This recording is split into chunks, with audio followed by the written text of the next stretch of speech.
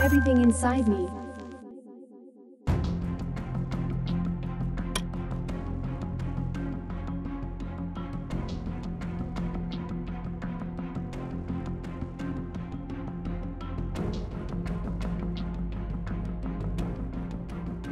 What is the meaning behind Justin Timberlake's supplies?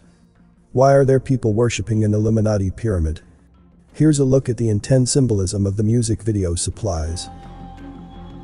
Supplies features Justin Timberlake and his love interest, played by Mexican actress Eiza Gonzalez Reyna, running around and causing heck in a dystopian society.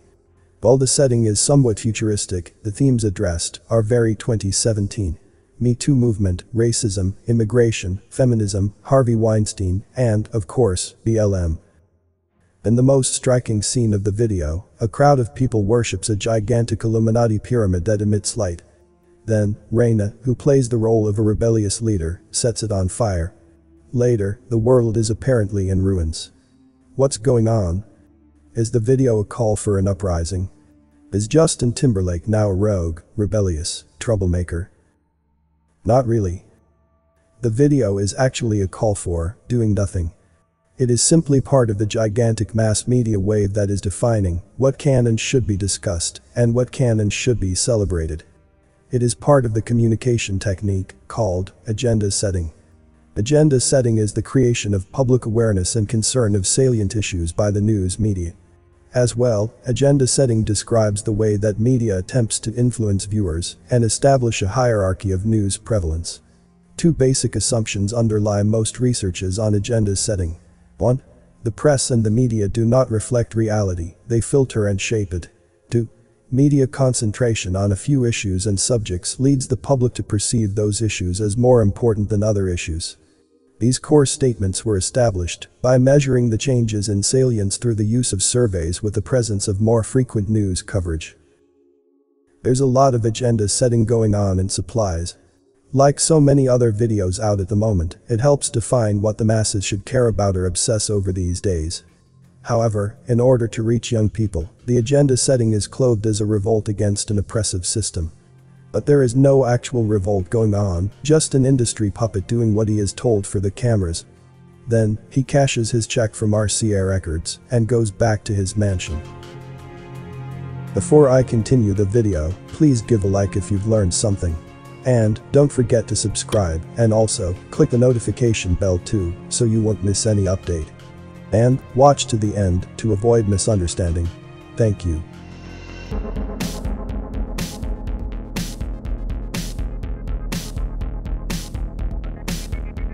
Justin Timberlake began his show business career at age 11 as a cast member of the Mickey Mouse Club, alongside several future industry stars, Britney Spears, Christina Aguilera and Ryan Gosling. Timberlake then found superstardom as the leader of the boy band NSYNC. The album cover of No Strings Attached features the group, including Justin, as literal puppets. In 2002, Timberlake launched his solo career. Once again, album art was highly symbolic. Dressed in a clockwork orange inspired outfit, Timberlake does the 6661 I sign of the industry pawn. The cover of his 2013 album features a subtle yet still very present one eye sign. One week before the release of Supplies, Timberlake released Filthy, a video that features him being replaced by a dancing robot. In Filthy, Timberlake stands backstage while a creepy robot replacement performs sexy dance moves on human dancers. He ultimately wins over the crowds as everybody cheers for the robot. The concept of the video is somewhat reminiscent of the movie Metropolis, where Maria, a leader of the people, is replaced by an android to do the elite's bidding. At the end of Filthy, Timberlake glitches out and disappears. Was he just a projection? Was he replaced by the android? Everything about Timberlake's career points towards him being at the service of the industry, and nothing has changed with his latest album, he is still signed with the elite-owned RCA Records, and as such, anything he puts out is perfectly in accordance with the elite's agenda.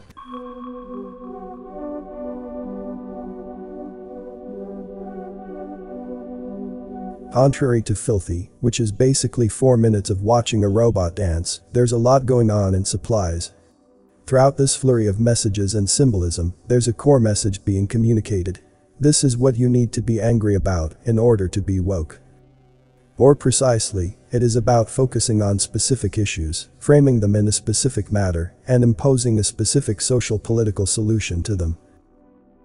At the beginning of the video, Justin watches several screens at one, all of which display events of the past year. Trump, Harvey Weinstein, anti-racism demonstrations, gun control, the Vegas shooting, etc. The scene appears to be a reference to the 1976 sci-fi movie, The Man Who Fell to Earth, where an alien, played by David Bowie, watches 12 TVs at once while becoming an alcoholic.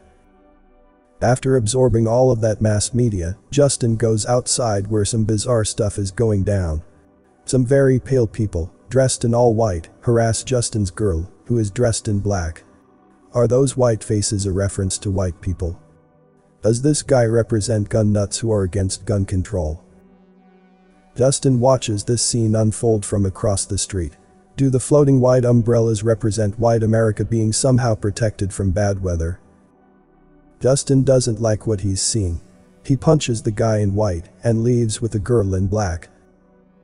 In the following scene, Justin dances around as light effects depict people slipping under the wall and running away, in a rather clear reference to Trump's wall with Mexico. Here, Justin and his army gather at Los Angeles Public Library as flags on the walls burn. Why are the flags burning? We don't see it in the video, but there's actually a pyramid topped by a torch of illumination right above them. This indicates who they're really fighting for. In the next scene, Justin and his girl find themselves in a creepy place of worship. People bow before an Illuminati pyramid.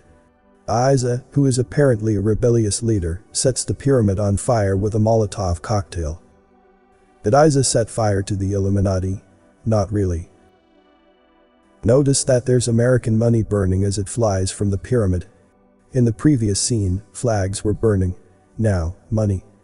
Are these allusions to the destruction of national flags and national currencies to be replaced by a one world government and a one world currency? The elite's ultimate objective. The same people who were worshipping the pyramid are now cheering for Eiza. The masses are idiots prone to groupthink. How about thinking for yourself for a change? The new leader's disposition is reminiscent of an iconic picture of the past. This scene recreates the famous picture of Huey P. Newton, the leader of the Black Panther Party. There's a lot of racially charged stuff in the video. Here, people float in the air with illuminated rings around their eyes. When Justin and Eiza remove the rings, people fall off. They are now woke. Throughout the video, various symbolic pictures quickly flash on screen. After all of this intense noise, the video ends in a cryptic matter. Justin emerges from the ground as dirty children gather around him in a post-apocalyptic world. Eiza is looking fresh and clean. What happened there? A nuclear explosion. Why is everybody dirty except Eiza? Did she know that the destruction was coming? The timing of this scene is rather odd as Supplies was released only days after the Hawaii false nuke alert. On January 18, 2018, an alert was sent to all devices in Hawaii about an incoming ballistic missile. A few days later, the Japanese network NHK sent out a false alert saying, NHK News Alert. North Korea likely to have launched a missile. The government J alert. Evacuate inside the building or underground. The alert was then corrected. The hook of the song alludes to a post-apocalyptic setting where Justin, maybe representing the elite, has all of the supplies necessary to survive. Cause I'll be the light when you can't see. I'll be the wood when you need heat. I'll be the generator, turn me on when you need electricity. Some shit's bout to go down, I'll be the one with a level head. The world could end now. Baby, we'll be living in the walking dead. The video ends with a little boy talking directly to the viewers, and he's pretty angry. Just leave. Die already. You're still asleep. Wake up. Just leave. We good. Why is the music video telling viewers to die already?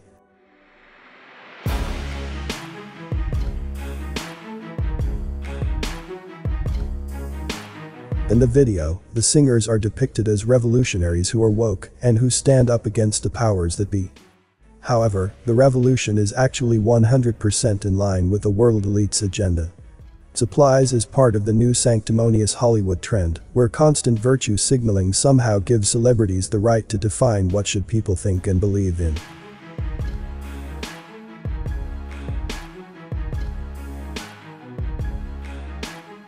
Supplies is the elite communicating to the masses using extremely manipulative techniques and classic double speech. Through the use of virtue signaling, the video panders to the idealistic tendencies of young people. However, what are the actual values being promoted? Anger, hatred, and division between races, sexes, and political affiliations.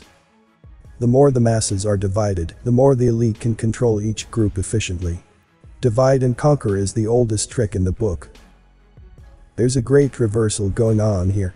The Illuminati, aka the world elite, is portraying the acceptance of its agenda as fighting the Illuminati. Mass media is in full force, using all of its resources to frame what's happening in a specific narrative. Why? Because we are in a pivotal place in history. We are living in chaotic confusing times, and people will actually bow down to the Illuminati pyramid. Comment below with more topic ideas for me to discuss. As a lot of care and hard work goes into this, likes and subscribe, let me know I'm doing a good job. All is appreciated greatly. You may not agree with everything from the content I post. Apply critical thinking and use discernment to come to your own conclusions regarding the content. Thanks for watching this video. This Everything Inside Me channel, see you on the next video. Stay safe and healthy.